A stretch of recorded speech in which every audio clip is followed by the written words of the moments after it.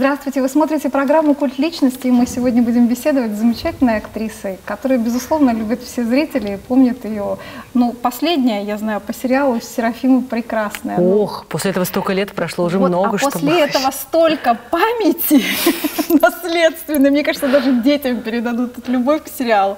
В общем, Елена Захарова. Спасибо. Прошу любить и жаловать. Добрый день. Елена. Елена, когда читала вашу биографию, с удивлением обнаружила, вот как иногда судьба складывается, интересно, что вы в актерскую профессию практически по случайности попали. Нет, ну как по случайности? А, ну вы имеете в виду, что вот первый фильм, съемки, да, да. Фильм. Это первые съемки. А вообще я мечтала же уже быть актрисой. А было такое? Конечно. Мы с мамочкой угу. ходили на разные кастинги. Тогда еще такого а слова не было. Ходили. Мы уже ходили. Тогда мы слушали. Тогда не было ни мобильных телефонов, ни интернета, внимание, молодежь. Угу. Были объявления по радио. Мы сидим, завтракаем с утра, там, мне 10 лет, 11, неважно. По радио говорят, киностудия Горького ищет такую-то девочку, такого-то возраста. Или газеты «Вечерняя Москва». Открываем, написано там «Мосфильм», э, «Пробы», на фильм такой-то, «Детей». Или или в Яралаш. Вот так раньше а сколько было. приходило? Там толпы, наверное, толпы, были такие? Да, и мы с мамой шли, да. Сколько в очереди тогда стояли? Я не помните? помню вот этого момента. Ну, как-то стояли, да, были конкурсы. Меня это, ну, абсолютно, я тогда думала, что это, наверное, нормально. Так, ну, действительно, а кто в этом возрасте?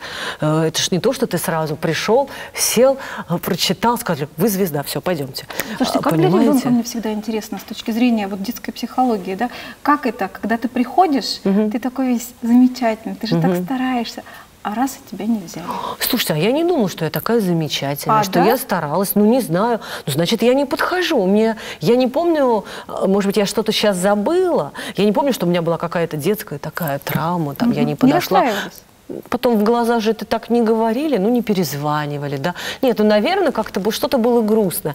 А, самое большое, я помню, вот именно такой детский, наверное, кошмар, это когда я пыталась, вот это я тоже рассказывала, но еще раз расскажу, поступить в театральную школу Голубовского после восьмого угу. класса. Мама мне говорила, как надо читать басню «Кот и повар», показывать кота, показывать этого повара. Я все исполнила.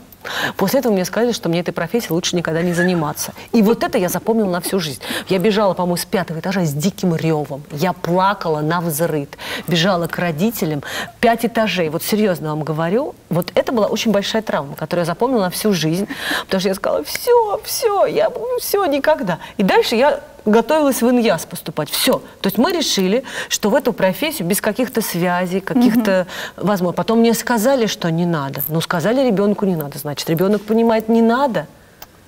И если бы Ох. просто волю судьбы я не встретила человека, который, увидев меня, сказал, а кем вы хотите стать? Я говорю, переводчиком грустно так сказала, потому что, конечно, ну, нет, у меня хороший язык английский уже был, у меня была соседка, переводчица, синхронистка, просто соседка mm-hmm. в доме по этажу, знаете, как повезло. И я занималась английским. Я бы, наверное, поступила бы в этот иньяс, потому что у меня, мне до сих пор все говорят, что у меня очень хорошее произношение, mm-hmm. ну, может, и льстят, конечно. А, вот, у меня была явная способность к языку, и вот он мне так сказал, говорит, да вы что, вам надо быть актрисой? Я говорю, да, мне сказали, не надо. Он говорит, кто? И он мне даже посоветовал пойти в АВГИК на подготовительные курсы. Сам мне даже, он учился в Институте культуры, его уже нет, к сожалению, в живых, Юра, но я ему потом очень раз, много раз говорила спасибо за это.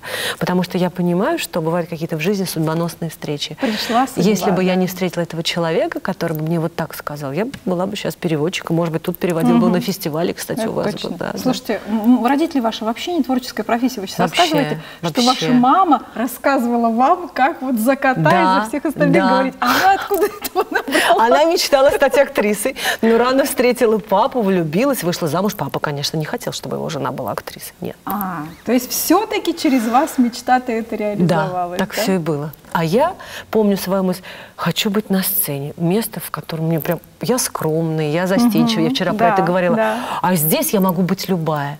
Я могу быть наглой, я могу быть стервозной, я могу быть красивой, могу быть смелой, могу быть плохой, злой, понимаете? Это Слушайте, возможность попробовать. Никогда не переносили актерскую профессию, потому что я вот даже примеряла да, на другие профессии. Мгм. Очень тяжело не тащить это домой.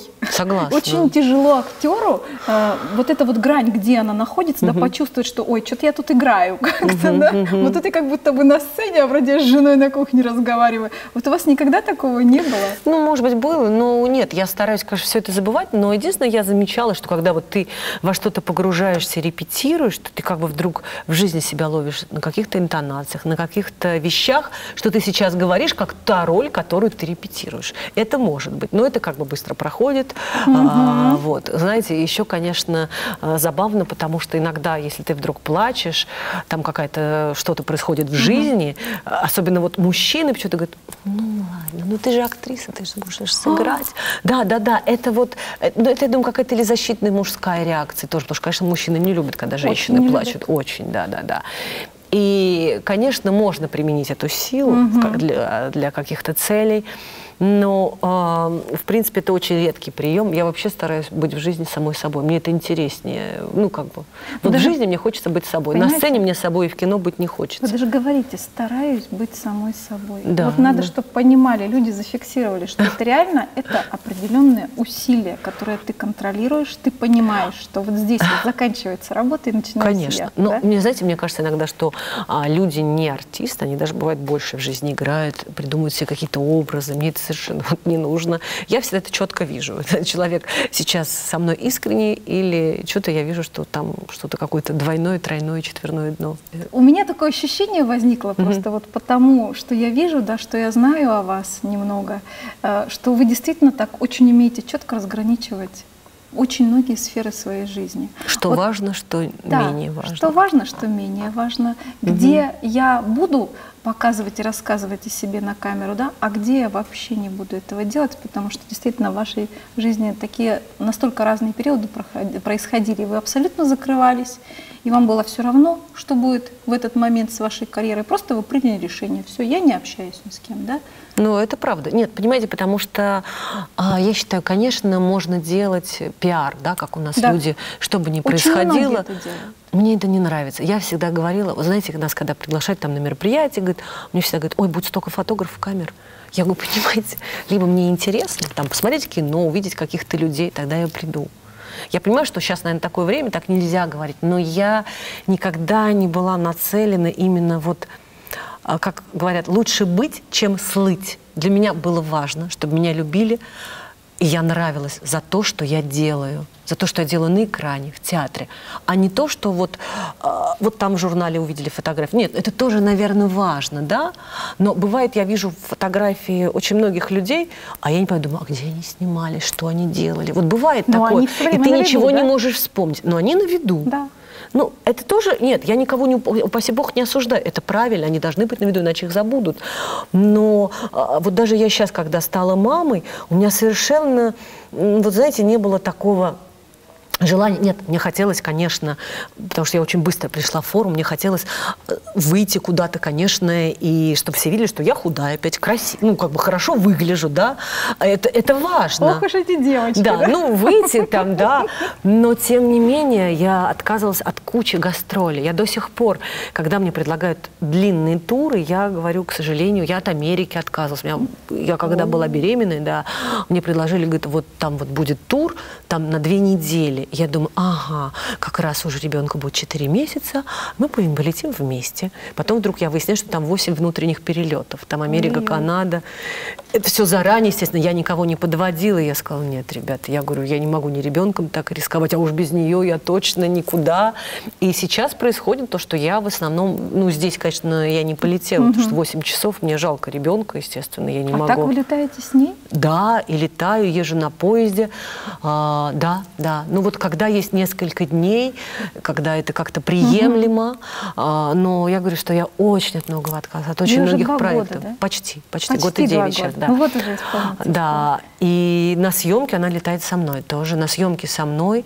Вот я снималась несколько проектов в Минске, со мной, с мамой. Мы там поселяемся, живем, вот все. Они приезжают ко мне на площадку, я до сих пор кормлю могу вот этим это, похвастаться. Да, слушайте. Ну, так получилось, и мне это нравится. Эта кочевая жизнь, она как-то на вашем ребенке до дочери уже отразилась? Она... Есть какие-то там словечки, Ну, не знаю. Да нет, она магазины, магазины, говорит, Вот самолет, самолет. Она уже повторяет. Мама, хамолет. Она говорит, хамолет. Но я скучаю. Мне каждую минуту хочется быть с ней, конечно. То есть это такое, ну я не могу же бросить профессию, Да, я тоже люблю. Ну, вот. Елена, ну вы, тем не менее, вы замечательный пример, вы можете из нее уходить из профессии, возвращаться. Ну, я не уходила. Нет, я актрисы. снималась до последнего. Всё Вы равно что? вы снимались? Конечно, я снималась на девятом месяце. Сейчас идет фильм в прокате. По-моему, здесь шел э, «Училка. Последние испытания».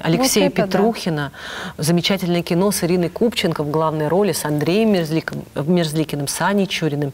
Там, с Аней Чуриной. Там прекрасный актерский состав. Такое очень серьезное кино. Это про захват заложников. И, в общем-то, я Ох, снималась чувствую. за две недели до родов. Заразили вы свою дочь, наверное, этой профессией. Я думаю, что да. Я думаю, что да. Потому что Алексей, когда мать снялись, он сказал, у нас закончили съемки, две актрисы. И зал весь зааплодировал. Ну, потому что заложники, мы сидели все в одном зале. двойном размере. Да ладно, ну это не самое главное в жизни. Ну, конечно, да, да. Но было очень нервно. Я потом, когда рассказывала вот врачу, которая меня вела, у которой я рожала ребенка, Ольге Николаевне Курбацкой, она говорит, как у вас, Елена, все спокойно? Уже две недели до родов. Я говорю, да, все ничего, вот я тут в кино снималась. А, Она говорит, да? Я говорю, да. А у меня вот такой живот. А Она говорит, а что там? Я говорю, тут ничего, там просто стреляли рядом. Она говорит, как стреляли? Я говорю, ну холостыми патронами, вы не волнуйтесь. Она говорит, а, ну если холостыми. Дальше она смеется и говорит, Лен, можно я буду про вас как анекдот эту историю рассказывать? Я говорю, конечно. Нет, на самом деле я дико переживала, очень боялась. Но вот знаете, как уже ввязалась в историю. И я гладила живот, я говорила, не переживай, все хорошо, это кино, никакой опасности нет. Хотя, конечно, ну, было очень страшно, и все нервничали, очень нервничала съемочная группа. Просто получилось, что когда предлагали историю, я вот только узнала, что жду ребенка. Думаю, а, ну еще все, ничего не видно. Я снялась в нескольких проектах. А, Вот. То есть, правда, я вообще... У меня не было такой, знаете, что я уехала, релакс такой, жду ребенка. Нет, я работала. И потом они так откладывали, откладывали съемки, что в итоге съемка... Я говорю, слушайте, ну вы, наверное, уже меня уберете из, из сценария. Леша говорит, нет, будешь, мы переписали роль, но мы тебя отпустим из зала. То есть, да, потому что, ну, там уже когда... Потому что меня там должны были бить, и я должна была О, падать. Нет, ну мой. это нереально уже, нет, Конечно, конечно. тут То есть при никак. штурме я не могла участвовать, нет, ну какой, я бы там тогда точно, э, не приведи Господи. А, вот, ну вот так, все было хорошо. Елена, слушайте, ну вы, конечно, потрясающего мужества. Не знаю, или дурости, знаете, я все время думаю, это мужество, это- я все время думаю, это мужество или это дурость какая-то. Ну, видимо, это между Ой, где-то. слушайте, ну когда характер сильный, опять же, по моим личным наблюдениям, ну там никуда не денешься уже. Тебя Ну уже да. просто ведет дальше. и- Да, да, да, ты как будто э, полетел, понимаете? Мало того, я понимаю прекрасно, что вы, сами того не желая, совершенно, и даже вообще и попыток не делая к этому стремиться, вы действительно огромный пример для многих, мотивация.